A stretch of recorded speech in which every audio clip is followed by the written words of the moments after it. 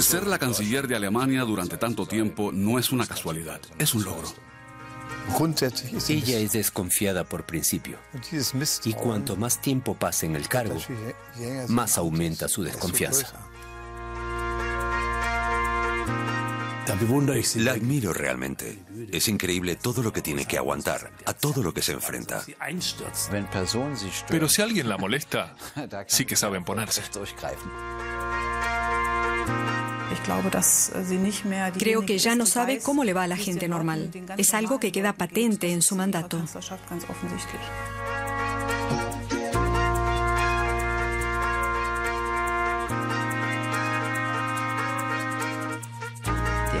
El carácter de un político no solo se refleja a través de su mandato, también somos seres humanos.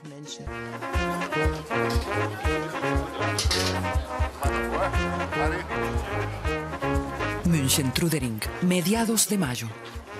Es el primer acto electoral del año para la canciller. Aún quedan cuatro meses hasta las elecciones. Por favor, hacia atrás. Por favor, retrocedan un poco.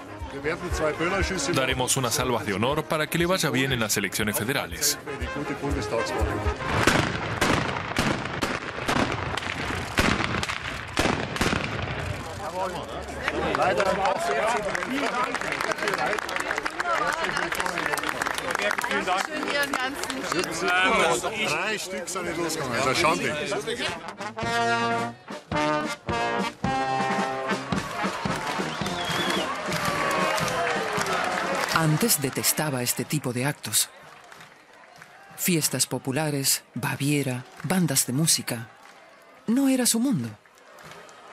Pero Angela Merkel descubrió el protagonismo que podía tener en este tipo de escenarios y supo aprovecharlo. Atrás quedan cuatro años de crisis económica y de coalición. Ahora empieza la batalla por la Cancillería. Señoras y señores, cuando vengo a visitarlos a Baviera, lo hago con gusto. Porque son capaces de relajarse a las seis de la tarde, sentándose a tomar una cerveza y a comer algo. Y porque así y todo son el Estado federado con los mejores resultados económicos, con los mejores promedios escolares. No sé cómo lo consiguen. A lo mejor en Baviera aprenden más rápido o igual madrugan más que los demás. No lo sé, pero sigan siendo así. Merkel busca ganarse con su encanto a la gente en Baviera, donde se vota una semana antes de las elecciones federales. La Unión Social Cristiana se siente halagada. Solo un buen resultado de la Unión Social Cristiana en Baviera aumenta las posibilidades de que Angela Merkel sea reelegida canciller. Por eso necesitamos un buen resultado en Baviera y viceversa. Solo conseguiremos un buen resultado en Baviera con apoyo de la canciller.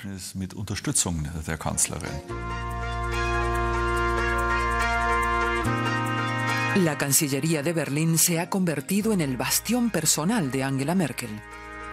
Desde aquí no solo se dirige la coalición y el partido, desde aquí se guía a toda Europa por la senda Merkel.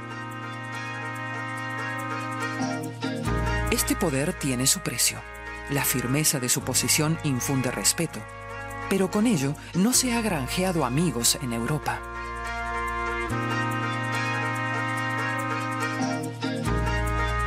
Cada vez más voces critican que Merkel carece de visión europeísta y que no confía plenamente en Europa. Opinan que más que la diseñadora de una línea política, es una física del poder.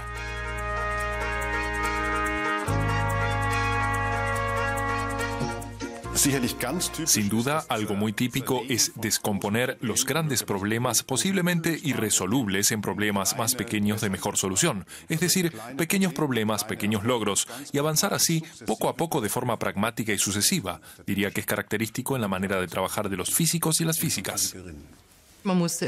Hay que dar un paso, analizar sus efectos y afrontar entonces el siguiente problema. Así es como se deben encarar los retos inéditos.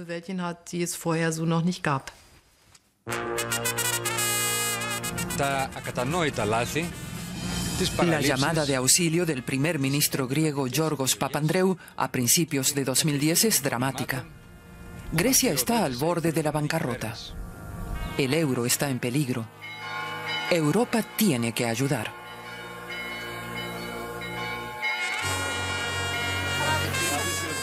Mientras los manifestantes expresan su ira en Atenas, la canciller alemana tiene que reconocer que no hay salida sin ayuda externa.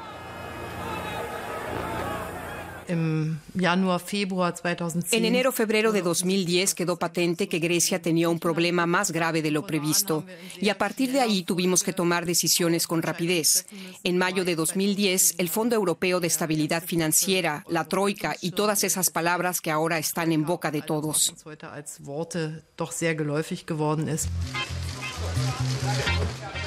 Merkel se opone durante meses a la ayuda europea para Grecia sostiene que el apoyo a los bancos griegos con dinero del contribuyente alemán en su país no será aceptado. Entonces invita al Fondo Monetario Internacional a negociar. Este deberá aportar dinero y velar estrechamente el cumplimiento de las reformas pertinentes. Al principio de la crisis del euro teníamos opiniones divergentes. Yo era de los pocos que sostenía que los europeos solos, sin ayuda del Fondo Monetario Internacional, debíamos resolver este asunto. Y la canciller dijo, puede que sea verdad, en teoría tiene usted razón, pero en la práctica el Fondo Monetario Internacional es más seguro. Más tarde reconocí que ella tenía la razón en esa cuestión y no yo. Al principio, en la definición de esta crisis faltó un análisis de la profundidad de la crisis. No era una crisis de endeudamiento, sino también de falta de competitividad, de ineficiencia de las estructuras. Y para recuperar la confianza era necesario no limitarnos a ayudar, sino afrontar a la vez los problemas de raíz. Merkel tiene su propia lógica de rescate para Europa. Solo el que se someta a los programas de ahorro y reformas y al control que conllevan podrá contar con dinero alemán. Una y otra vez se aprueban paquetes de ayuda multimillonarios y en medio de las difíciles gestiones del rescate, la canciller, respaldada por una gran coalición, emplea la expresión que en 2010 se convertiría en la menos agraciada del año. Para asegurar la estabilidad financiera de la zona del euro, no hay otra alternativa que este paquete de ayudas a Grecia. No hay una política sin alternativas. Es una de las frases más estúpidas que se pueden decir. Siempre hay una alternativa. Utilicé esta expresión una vez porque estaba 100% segura de que debemos mantener el euro, pues es la única alternativa de ofrecer un futuro a Grecia. Apenas hay oposición. Entre sus propias filas se refunfuña, pero pocos son los que levantan la voz.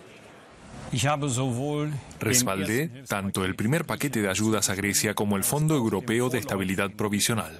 Pero entonces dije que ni podía ni quería ir más allá, porque estoy firmemente convencido de que una crisis que surgió por un endeudamiento excesivo no se puede resolver con nuevas deudas y nuevos créditos.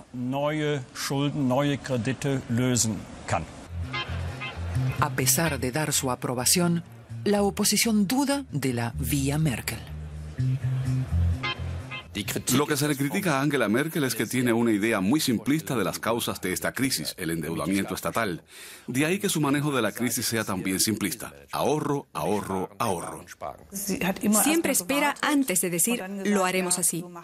Es decir, dice demasiado poco y tarde para acabar dando pasos, en mi opinión, correctos.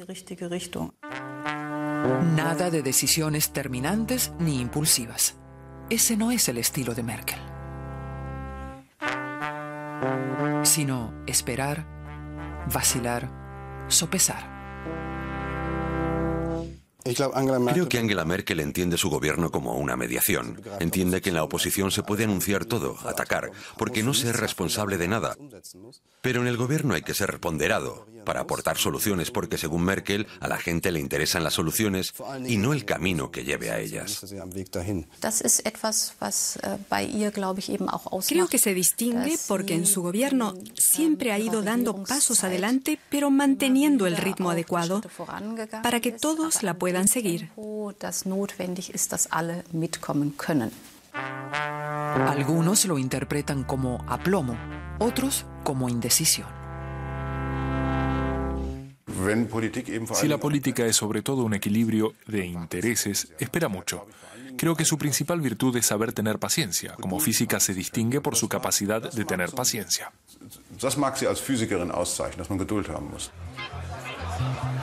La autoridad de Merkel tiene un cariz de abnegación. Eso le ha valido el sobrenombre de mamá. La imagen de la jefa Angela Merkel infunde además cierta cercanía y severidad, por ejemplo, en las discusiones.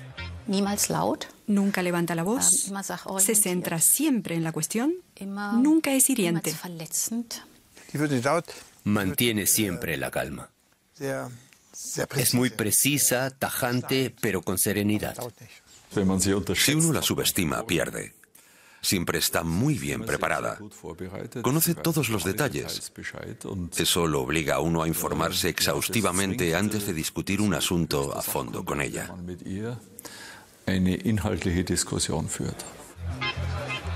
Durante años, muchos no aceptaron su éxito porque venía de otra área. Enemistades, mobbing. Merkel tiene que aguantar mucho y así sale adelante. Así aprende que al final solo puede confiar en sí misma. En definitiva, Merkel se presenta de momento como reina de Alemania. Una reina que no se ensarza en las discusiones de los políticos, sino que más bien intenta presentarse como alguien que está por encima de todo ello y que dirige el país desde arriba y con toda tranquilidad. Y hay otra cosa que sabe hacer y que no hay que subestimar. Sabe sonreír como por casualidad. Y esta sonrisa casual le sale muy bien. Pero basta ya, ahora tengo que hablar de los errores de su política. Pero sí que creo que de esta forma se ha labrado una posición.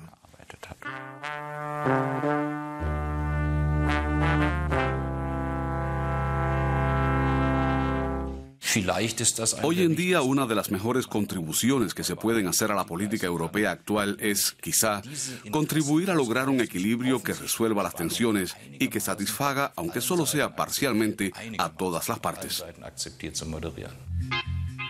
Merkel consiguió domar con este estilo los impulsos de su socio Sarkozy. Mientras se mantiene el eje París-Berlín, también se subordina el resto de Europa. Pero con la llegada en 2012 de François Hollande, el nuevo presidente francés, Merkel tiene que cambiar de estrategia. Los países del sur se rebelan contra el dictado de austeridad alemán, entorpeciendo el avance del motor germano-francés. A finales de junio, Monti protagoniza en Bruselas un show particular, la rebelión del sur contra Alemania. A puerta cerrada, el italiano ataca a la canciller alemana de forma inusualmente agresiva. Uh, Lo que hice en la tarde del primer día, el 28 de junio, fue decirle, discúlpeme, pero Italia no aprobará el paquete de crecimiento. Esto provocó, lógicamente, cierto nerviosismo, porque no es normal ejercer el veto en el Consejo Europeo.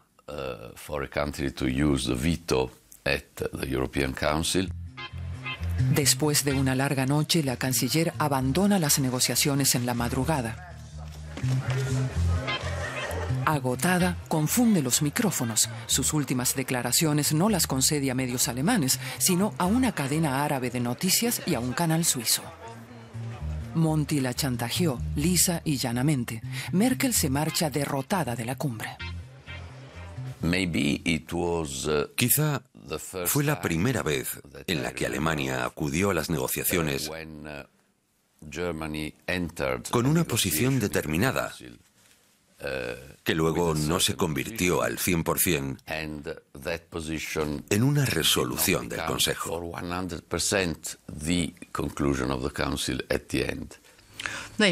Bueno, al final los hechos hablan por sí mismos. Creo que en aquella cumbre no ocurrió nada. Por la tarde aprobamos el Mecanismo Europeo de Estabilidad y el Pacto Fiscal, también en el Parlamento alemán. Lo que aprendí es que por muy tarde que sea, es preferible que organice yo misma una rueda de prensa.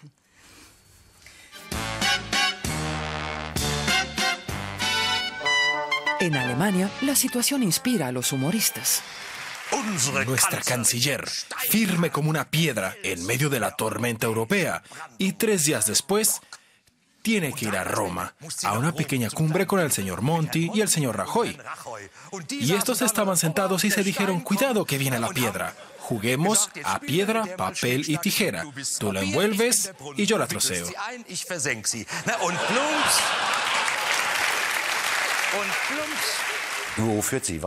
¿A dónde nos guía? ¿Qué es lo que hace? ¿A costa de quién ejerce su autoridad? Consiguió enemistarnos con casi todo el sur de Europa, lo que resulta francamente avergonzante. En verano de 2012, dos años y medio después del inicio de la crisis, Merkel viaja por primera vez a Grecia. Es entonces cuando Europa decide mantener al país heleno en el euro a toda costa. Decidí solidarizarme cuando estuve plenamente convencida de que se reconocían las causas del problema. La idea de base es trasladar a Europa la agenda alemana de recortes sociales, tanto a Grecia como a otros países. Pero, ¿a qué nos lleva esto? Le reducimos el salario a la peluquera y a la enfermera. Despedimos al personal del sector público. Y ellos se preguntan con razón, ¿pero qué tengo yo que ver con la crisis? ¿La he provocado yo? Merkel puede percibir la ira en plazas de Europa, como en la de Atenas ante el Parlamento. La gente la responsabiliza a ella personalmente de los recortes y los despidos, con drásticas comparaciones. Me alegro mucho de que en Europa la gente pueda manifestarse y que yo pueda regresar sin temer que aquellos que se manifestaron no tengan que enfrentarse más tarde a represalia alguna. No ocurre lo mismo en todo el mundo. Angela Merkel cambia su relación con Europa. El dominio alemán sigue preocupando.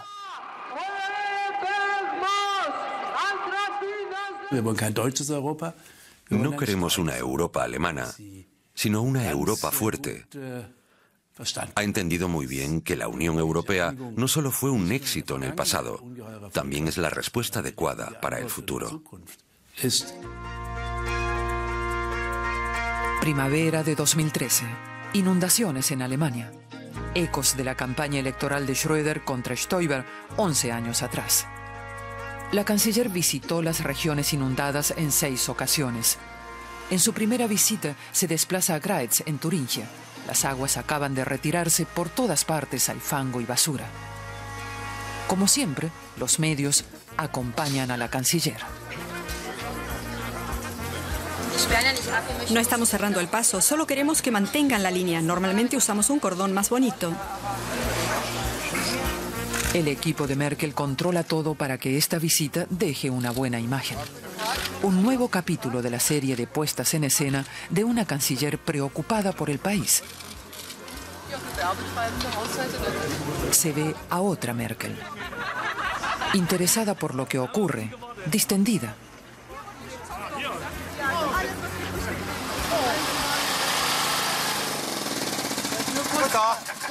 Buenos días. ¿Me permite preguntarle qué está haciendo? Estamos trabajando para la empresa que provee la energía. Le deseo mucha suerte. Hace falta intuición para detectar el problema. Sí, pero además hay que tener cuidado.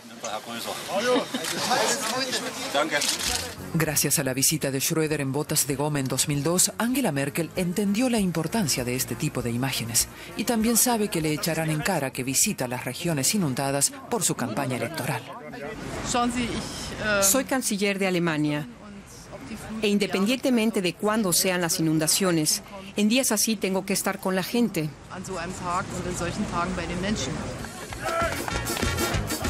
Y la gente está con ella, aunque poco después de una hora Angela Merkel vuelva a subirse al auto. Angela Merkel ha perfeccionado la presentación, la escenificación de la política. Las cumbres rutinarias en la Cancillería son como audiencias en una corte. Cumbres sobre el desempleo juvenil, sobre integración, mujeres, cumbres sobre la familia. La política como acontecimiento. El punto culminante lo alcanzaría en la cumbre con el presidente estadounidense a mediados de junio. Habría sido un encuentro simbólico ante la puerta de Brandeburgo para estrechar la unión con los Estados Unidos, si no fuera por esa nueva combinación de letras, PRISM. Poco tiempo antes, Edward Snowden había informado sobre los programas de espionaje de la Agencia de Seguridad Nacional estadounidense.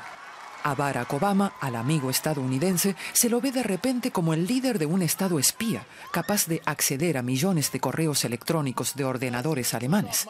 La palabra amistad suena entonces a burla.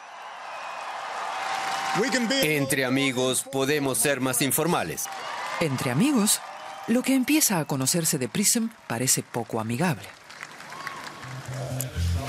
Cuatro semanas más tarde, Angela Merkel acaba por percatarse de que el escándalo de los servicios secretos puede resultar peligroso. ¿Qué sabía el gobierno alemán? ¿Hubo pactos entre los servicios de inteligencia alemanes y los estadounidenses? ¿O realmente desconocían todo? ¿Y qué es peor? ¿No saber o no decir nada?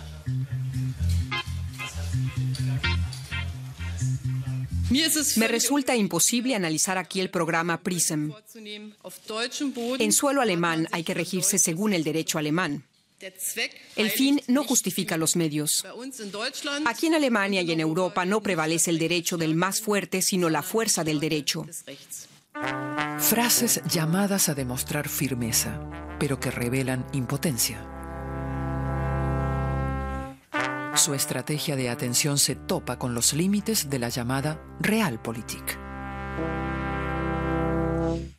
Estados Unidos domina el mundo, sobre todo en Occidente. Eso es lo que tristemente hemos vuelto a revivir con el caso Snowden.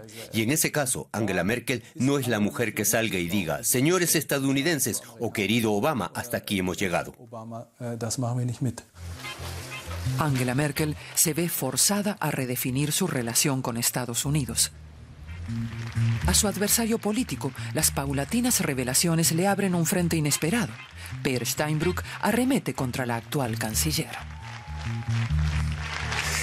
A ella le compete sentar las pautas, preside un gabinete y es su jefa, o sea, la última responsable de las decisiones que allí se tomen, y hay que recordárselo. Los socialdemócratas intentan sacar de forma irresponsable y evidentemente desesperada un mal tema de campaña que ahora se desmorona como un castillo de naipes. La acusación de un supuesto espionaje total en Alemania está descartada, atendiendo a los datos de la NSA, de los servicios británicos, y de nuestras agencias de información. En Alemania mantendremos nuestra presión sobre el gobierno federal. Es necesario hacerlo porque aún no sabemos más que detalles parciales sobre PRISM. Una campaña electoral así busca un tema, y en este caso parece haberlo encontrado. Se trata de las actividades de espionaje de un servicio de inteligencia estadounidense que probablemente se ha extralimitado. Un asunto con muchas facetas. Afecta a la esfera privada de la gente, pero es evidente que a la gente no le aterra la amenaza de este tipo de espionaje.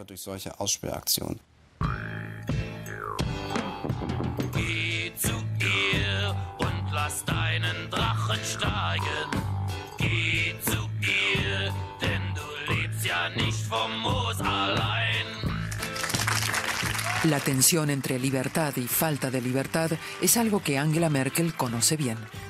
A finales de mayo, junto con su marido, presenta su película favorita, La leyenda de Paul y Paula, una historia sobre la vida y el amor en la Alemania Oriental, pero también una película sobre la evasión en una sociedad vigilada. Con todo, nunca llegué a concluir que mi vida no servía para nada o que estaba encerrada sin más. Y a pesar de todo, rápidamente podía acabarse la fiesta.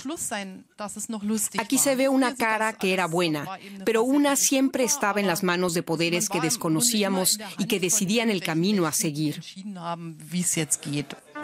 Su vida en Alemania del Este le exigió a Angela Merkel saber pasar desapercibida, amoldarse para sobrevivir Ahora es distinto, su cargo la coloca en primera plana.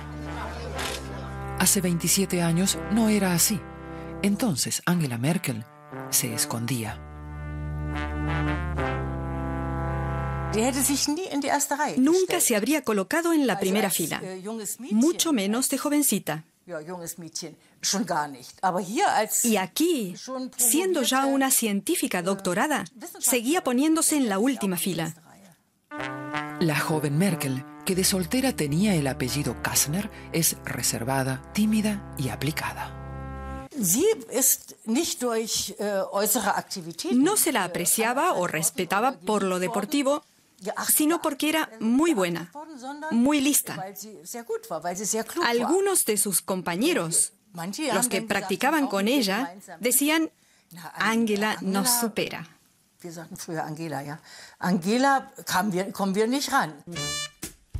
En la competición voluntaria de ruso, la ambiciosa Angela está entre las primeras.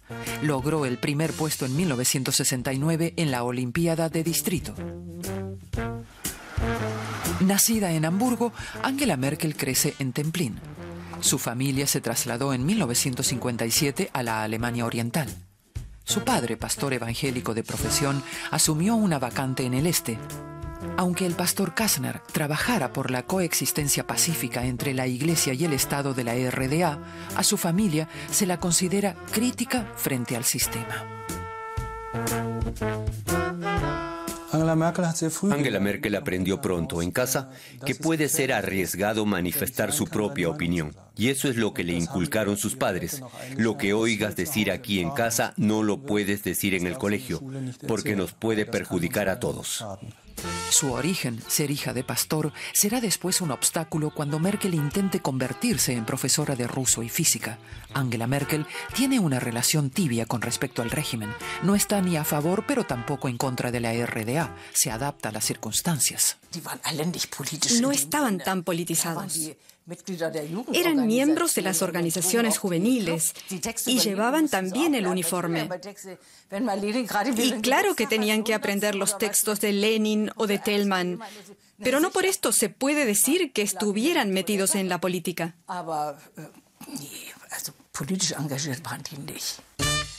También Angela Merkel llevó la camisa azul de la Juventud Libre Alemana, la organización juvenil de la RDA. No pocas veces se tiene que enfrentar a voces que le achacan haber estado más involucrada en el sistema de lo que se dice. No fue responsable de cultura, como sostiene Merkel, sino responsable de agitación y propaganda. El hecho de haber sido responsable de la agitación y la propaganda o de un campo así, muchos lo ven como si formara parte del Politburo. Es una tontería. De lo que te encargabas era de periódicos murales y cosas así. Sé bien lo que era y no se le debe dar tanta importancia. Creo que las biografías de las ciudadanas y ciudadanos de la Alemania Oriental merecen ser vistas de cerca. No pueden valorarse a la ligera desde la Alemania Occidental por quienes no pueden ni siquiera decir cómo vivían en ese entonces. Angela Merkel considera que ya dijo lo suficiente.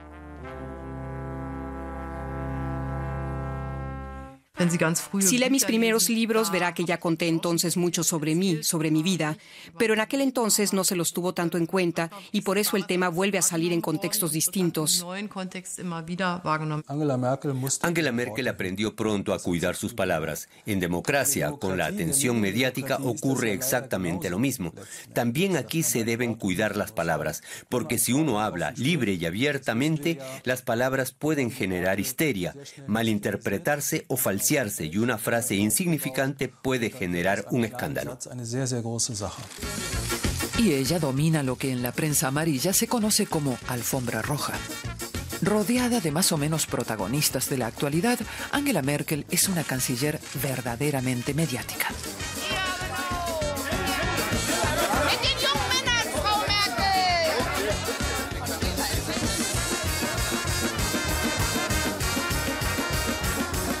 El cargo ha endurecido a Angela Merkel y la canciller se propone cambiar esa imagen. La máquina del poder deja ver más su lado personal. En una tertulia de la revista Brigitte habla en confianza sobre juventud, día a día, vacaciones. Una mañana entré en una tienda y me preguntaron, How are you? Con una sonrisa de oreja a oreja. Y entonces me forzaron a salir de mi timidez de pueblerina y a soltar un great, algo forzado. Creo que antes era más tímida.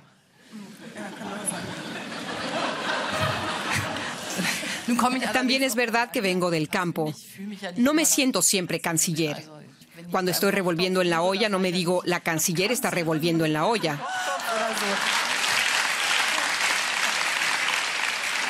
Merkel gana puntos con su humor. Lo sabe y sabe aprovecharlo.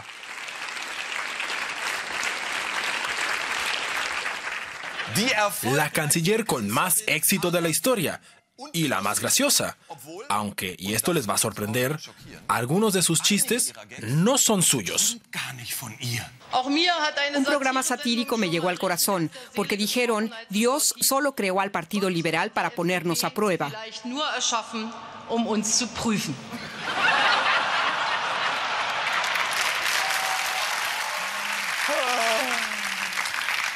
Nos debe 50 euros, señorita. Merkel y el Partido Liberal. Cuando se cerró el pacto de coalición entre cristiano-demócratas y liberales, se hizo realidad un sueño. Lo que siguió fueron rencillas personales y un balance mediocre. El gobierno más exitoso desde la reunificación no tiene ya mucho de qué hablar. Claro que tenemos opiniones divergentes y en una coalición hay fases mejores y otras peores. Pero mi relación con Angela Merkel diría que siempre fue excelente, incluso en las fases más difíciles en el seno de mi coalición, de mi partido, todo el tiempo. Y eso que fue precisamente Philip Rösler el que le infligió a Merkel la derrota más amarga en política de interior. Joachim Gauck se convierte en presidente federal contra la voluntad de la canciller. Philipp Rösler lo maquinó con la oposición a sus espaldas. Acababa de bajar del avión y estaba en un taxi cuando me llamó la canciller y no me pude ni asear. Rösler también saborea en público su triunfo sobre Angela Merkel. Angela se enteró por la prensa de que Philip tenía otros planes. Así fue. Rösler dice no acordarse ya de la conversación con Merkel. Fue una conversación en privado, así fue. Y está muy bien que lo que se habló allí, allí quede. Confirma que fue confidencial. Al señor Rösler le gusta ser vicecanciller y lo entiendo. Creo que Angela Merkel sabe que Philip Rösler no encaja con su perfil, pero no es una mujer que machaque a alguien en público. Se limita a dejar que se vaya diluyendo. Merkel responde hasta el día de hoy de forma parca a preguntas sobre Rösler. Trabajo muy bien con Philip Rösler y como se ha podido ver, en esta coalición de gobierno cristiano-liberal hemos conseguido hacer frente a muchas situaciones realmente complicadas. Causó gran impacto el doble giro con respecto a la energía atómica. Primero, la coalición le alarga la vida a las centrales alemanas. Pocos meses después, la coalición cristiano-liberal abandona la energía atómica como consecuencia de la catástrofe de Fukushima de marzo de 2011. Enseguida capté que tendría repercusiones también para nosotros. Y por eso decidí con celeridad que en relación a la energía atómica había que buscar un consenso social.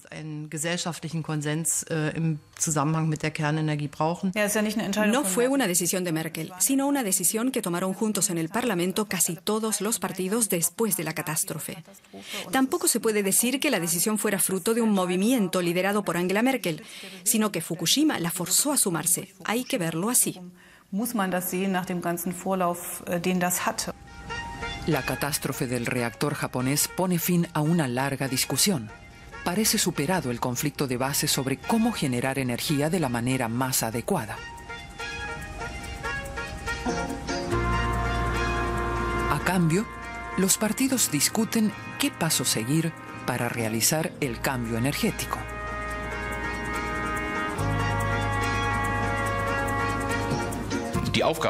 La tarea no ha concluido hasta la fecha. Es difícil porque la decisión se tomó de forma espontánea y nadie la había preparado ni quería hacerlo. El reto sigue siendo concretar los detalles. Y los partidos del Parlamento no parecen enfrentar la tarea con decisión. Hemos optado por un camino muy caro y al final se hará sí o sí y lo pagaremos todos juntos. La primera víctima del cambio energético será Norbert Röttgen, a pesar de haber luchado tanto por el apagón nuclear.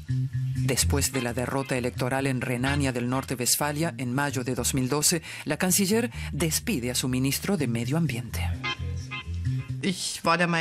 Después de la derrota electoral en Renania del Norte-Westfalia, necesitábamos un cambio para volver a empezar. Y también necesitábamos que el ministro que dirigiera todo el sector de las energías renovables fuera un ministro realmente fuerte. Precisamente Röttgen, al que se tildaba de Delfín de Merkel, cuyo sobrenombre era el favorito de mamá. Merkel sienta precedente. Ähm, Creo que a Röttgen lo veía como un competidor claro y en cierta manera bastante desleal, porque Merkel se enteró de que Norbert Röttgen no hablaba bien de ella. Así que le dijo, ya estoy harta de oír estas cosas, tú has cometido un gran error, estás despedido. No ejerce su poder a base de grandes gestos, este sí que lo fue y por eso destaca tanto. Son muchas las bajas que registra Merkel durante su gobierno. Jung, Koch, Köhler, Rütgers, von Beust, zu Gutenberg, Müller, Mapus, Wolf, Röttgen, McAllister, Chaban. Por distintos que sean los motivos, su fortaleza evidencia la debilidad de los demás. Angela Merkel es una líder política fuerte y eso implica que al final muchos no asumen liderazgo político alguno porque es ella quien lo ejerce. Y puede ser que muchos no lo esperaran, pero tiene capacidad de liderazgo. Cuando dimite Annette Chaban, aparece fugazmente el lado personal de Merkel. También pierde a una amiga en su gabinete. Lamento profundamente esta dimisión. Más allá del cargo, la amistad perdura. Eso no pesa, duele. Y tuve la impresión de que le dolió. Bueno, no es una decisión nada fácil, pero a pesar de todo estoy obligada a hacer aquello que sea bueno para el país. En 2005 dije que quería servir a Alemania y este servicio también comporta decisiones dolorosas. Las pérdidas personales evidencian una debilidad del sistema de Merkel.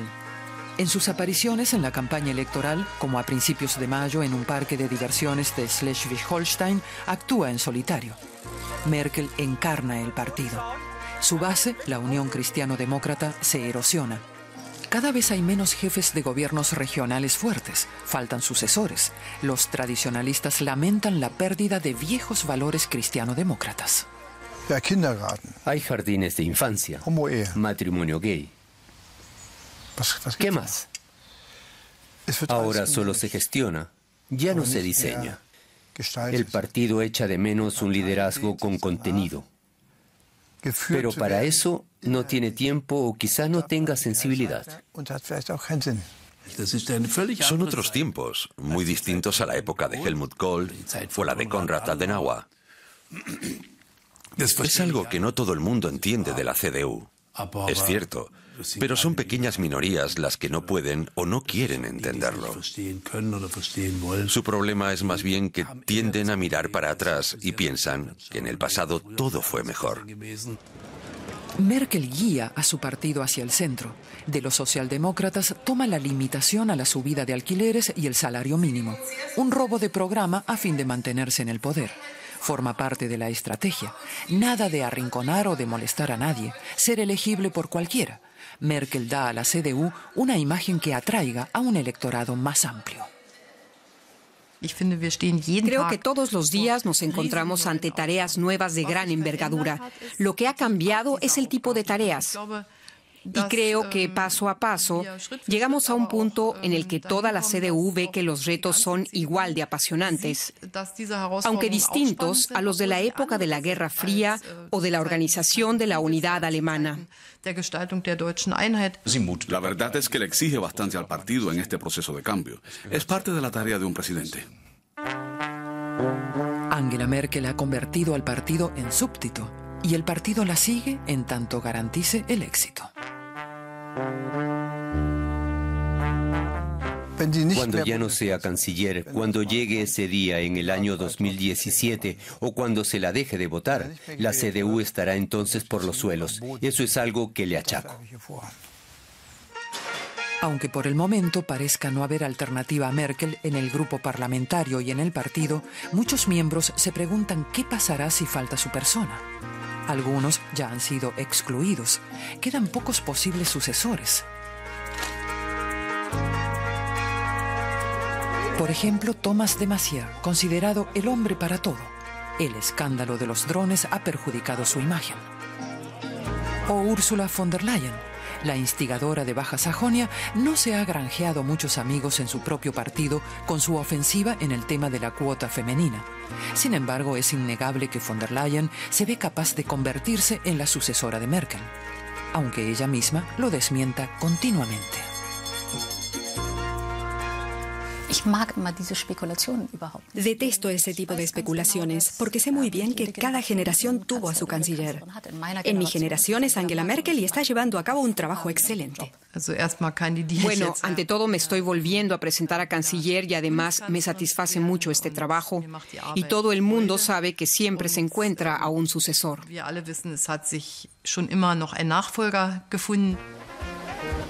Con casi 60 apariciones, como a finales de julio en el Báltico, Merkel está inmersa en la recta final de la campaña. Una omnipresencia que también busca acallar un rumor periodístico que vaticina que solo cumplirá la mitad de su mandato. Y mientras, la canciller parece preocuparse por cada admirador, aunque esté de vacaciones. No sé si algún día Angela Merkel se retirará voluntariamente. Es una cuestión que está sobre la mesa. Está en la mejor edad para la política. Parece que la gente no se cansó aún de ella. Como en el final de Cole, tras 16 años, ya no quería más. Es interesante ver que puedes prolongar el tiempo que tienes. Angela Merkel no se ha cansado aún. Lleva tiempo siendo una estrella pop de la política. Atrás quedaron las estrecheces del cuarto de estudio. Lo que más caracteriza el trabajo de un científico sigue siendo el estar solo cara a cara con su problema. Como política es algo de lo que ya no es capaz. Y por eso muchas de las cosas que la caracterizaban como física hace tiempo que las tuvo que tirar por la borda. Querida por la gente, un candidato rival débil hasta ahora, un partido que la sigue. Y a pesar de todo, son muy estrechas las diferencias entre las fuerzas políticas la crisis del euro, el escándalo del espionaje, un socio de coalición sin peso. El poder de Merkel no pisa sobre seguro. Al final, todo depende de ella.